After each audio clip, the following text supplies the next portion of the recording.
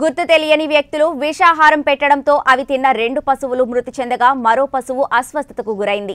ఇదే అదునుగా చూసుకున్న దుండగులు రెండు వాటర్ ఇంజన్లు అపహరించుకుపోయిన సంఘటన విశాఖ జిల్లా నర్సీపట్నం మండలంలో చోటు చేసుకుంది. విశాఖ జిల్లా నర్సీపట్నం మండలం చెట్టుపల్లి గ్రామంలో ఊడి మోపాడ వారి పశువుల పాకల వద్ద ఉన్న మోపాడ సత్యబాబు తిప్పన బాబురావు మోపాడ అప్పారావులకు చెందిన మూడు పశువులు విషాహారం తినడంతో రెండు పశువులు మృతి చెందగా ఒక పశువు అస్వస్థతకు గురైంది.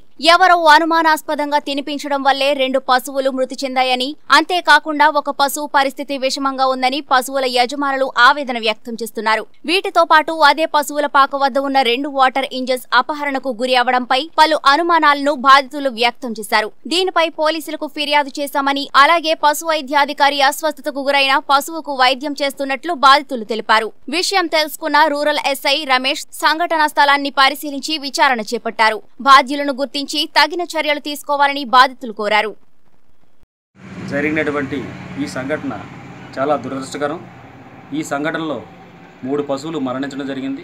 అదేవిధంగా రెండు వాటర్ ఇంజిన్స్ ఎవరో దొంగలించిపోయారు. ఇటువంటి సంఘటనలు మరలా గ్రామంలో పునరావృతం అవ్వకుండా పోలీసు వారిని గట్టి చర్యలు తీసుకోవాలి. ఈ విధంగానే ఇప్పుడు ఈ ఈ ఈ చర్యలకు ఎవరైతే పాల్పడ్డారో వారందరినీ కఠినంగా శిక్షించాల్సిందిగా కోరుకుంటున్నాను. ఇటువంటి సంఘటనలు మరలా గ్రామంలో జరగకుండా శాంతి భద్రత సమస్య రాకుండా గ్రామ ప్రజలందరూ సహకరించాల్సిందిగా కోరుతున్నాను